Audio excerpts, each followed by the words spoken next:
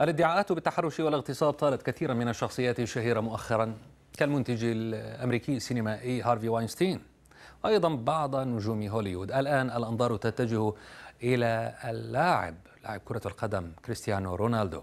فهناك شابة أمريكية اسمها كاثرين مايورغا استمدت الشجاعة من حملة Me Too أنا أيضا لتتحدث علنا عن قضية سابقة ضد رونالدو. هذا ما قاله أحد محاميها. The Me Too movement and the women who have um, حملة ميتو والنساء اللواتي تحدثن علنا عن الاعتداءات الجنسية. أعطوا كاثرين الشجاعة وساعدوها بشكل كبير على التقدم بهذا البلاغ. الشابة تقول إنها ورونالدو التقيا في ملهى ليلي في هذا الفندق في لاس فيغاس. وبعدها تقول إنه هاجمها في جناحه. تشير معلومات إلى أن الشابة في عام 2010 توصلت إلى اتفاق في المحكمة مع رونالدو يقضي بدفع مبلغ 375 ألف دولار مقابل صمتها وعدم فتح القضية علنا. لكن إحدى محاميات المدعية تقول إنها ومنذ ذلك الحين وحتى الآن الشابة تعاني من اضطراب نفسي.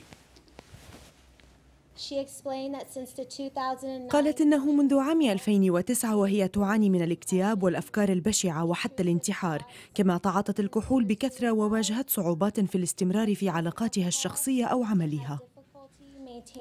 تفاصيل القضية ظهرت لأول مرة في مجلة دير شبيغل الألمانية حيث تحدثت كاثرين عن الحادثة وسردت روايتها للأحداث. انظروا إلى هذه الصورة الصغيرة هنا. رونالدو وكاثرين. وقالت إنهم سيرفعون دعوى ضد آه، آه، دير شبيغل. طبعا رونالدو ومحاموه وفريقه الدفاعي. بعد أن نشرت هذه الاتهامات دون سند قانوني. أما شرطة لاس فيغاس فقالت في تصريحات لها في ذلك الوقت سجلنا بلاغا. الضحية لم تعطي المحققين تفاصيل عن الواقعة ومكانها ولم تصف المشتبه به. وتكمل الشرطة. أعدنا فتح القضية والمحققون يتابعون التفاصيل التي قدمت مؤخرا. تفاعل جمهور رونالدو مع القضية وأيضا ناشطات حقوق المرأة. مثلا إيمانويل غرد كريستيانو اللاعب من الطراز الأول ولذا كثيرون يريدون الحصول على المال منه. ليس هو فقط بل رجال أغنياء حول العالم يتهمون بأشياء لم يرتكبوها. جاز غردت قائلة بسبب حملة ميتو تجد المرأة صوتها وتستمد قوتها للتقدم.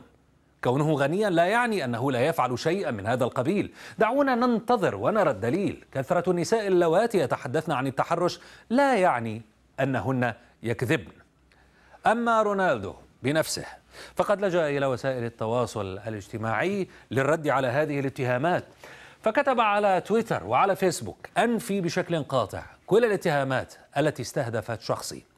الاغتصاب جريمة مروعة وخلاف وهو خلاف لكل ما أنا عليه وما أؤمن به. بقدر ما أود أن أخلي مسؤوليتي إنني أرفض تغذية المشهد الإعلامي بأشخاص يسعون إلى الترويج لأنفسهم على حسابي. أنتظر بضمير صاف وبهدوء نتيجة التحقيق.